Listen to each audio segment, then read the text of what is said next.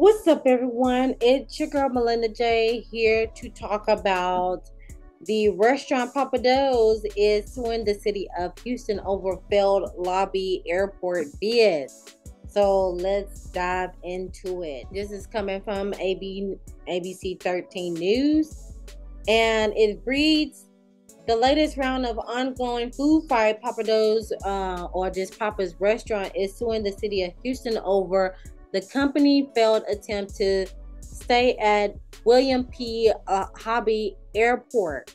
In the lawsuit filed Tuesday, Pappas Restaurants alleged that the city failed to comply with statutory procedures for competitive sealed proposals, failed to consider the criteria to determine best value for the city as required by state and municipal laws, to conduct the solicitation of accordance with the global accepted public procurement standards made uh, applicable to the caption procurement through municipal laws, including transparency, impartiality, and accountability, failed to follow Open Meetings Act requirements, violated globally accepted public procurement standards, fraud, lack of procurement integrity and responsibility, and under general principles of fairness.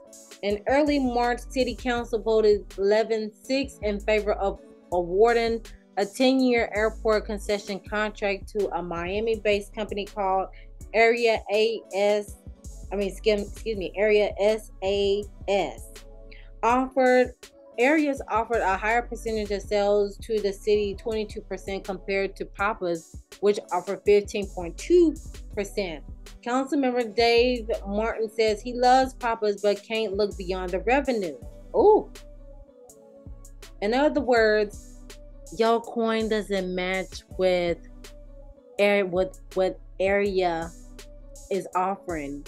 Is basically saying, I love your child, but I'm gonna have to go with the highest bidder, okay? Barbara argued that officials violated city and state law when they gave concession contract to Areas. Because it's almost like a slap in the face to Pappas like, hey, we were here first. Why won't y'all give y'all us uh seniority? Why won't y'all just grandfather us in for crying out loud? Because we put business into the city's economy and y'all turn y'all back on us all because of a Miami based company coming over here to basically take our spot? I don't think not. That's what I'm getting already. According to Pappas, the base of the lawsuit is that William Paul Thomas, Mayor Sylvester Turner, former top aide, reached out to Pappas in 2019 during the first round of the bidding process but that would be a violation of the city's policy because it was during the non the no contact period. So, okay. So Turner's top eight was what I got from Nesson is there was the mayor's top eight was like send, sending smoke signals to Pappas like, hey, there's a possibility that the bid is coming. Be ready. Okay but it was during the no contact period. You're not supposed to do that. So Thomas abruptly left his position in August 2022 after he pled guilty to federal public corruption charges. ABC Partners, the Houston Chronicle reported, citing a source with direct knowledge of the situation. The Chronicle reported last summer that Thomas admitted to conspiracy to, to accept a cash bribe in exchange for changing a bar's classification to a restaurant, allowing the bar to stay open longer during the CD restrictions. Oh my goodness. Wow. Thomas pled guilty on July 25th and submitted his resignation the next day. Um, the Pappas lawsuit claims Thomas may have had access to confidential information about proposals his attorney did not respond to requests for comment from our partners at the Houston Chronicle. ABC reached out to the mayor's office, who said in response, the city did not has not seen the lawsuit and has no comment. Uh, has as previously noted, the city uh, follow its normal procurement policies throughout the process. Its latest move comes after Papa files a protest asking the city of Houston to set aside the new contract and reevaluate the bidding process, the Chronicle said. Pappas had the Hobby contract for 20 years, but the transition plan for this late uh, later this year.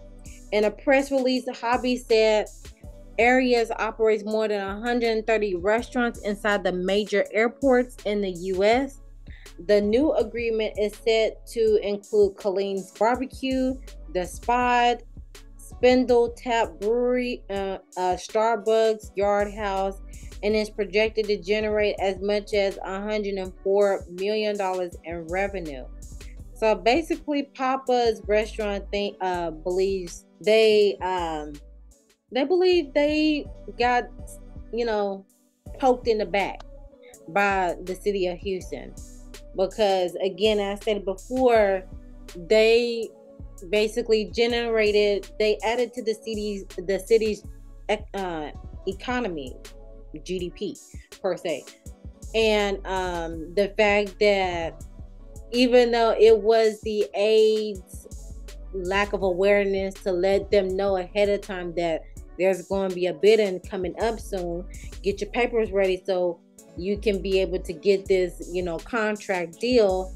And the fact that they were not able to get it, and the city of Houston went with somebody else that is like a Miami-based company, is like uh um, it's like a slap in the face. Like, I love y'all, but we're gonna go with this one over here for the sake of our city, okay?